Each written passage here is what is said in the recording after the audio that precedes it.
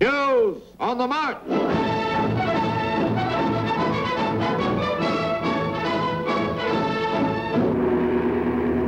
The end came today for Rance Crain, owner of the gaudiest mansion in all of Lake Forest, a veritable warehouse stuffed with free samples of the millions of products that his newspapers hawked for over half a century.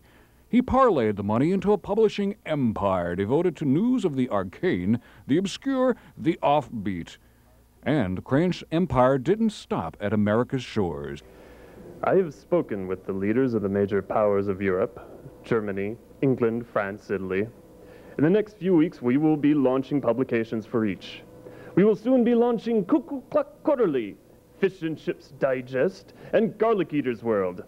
Rest assured that the Crain's empire will not neglect any opportunity in a foreign market.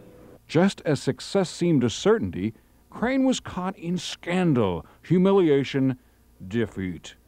Then, one day, people began realizing that they had better things to do with their lives than read publications like Widget World. At the end, as it must with all American companies, bankruptcy came to Crain.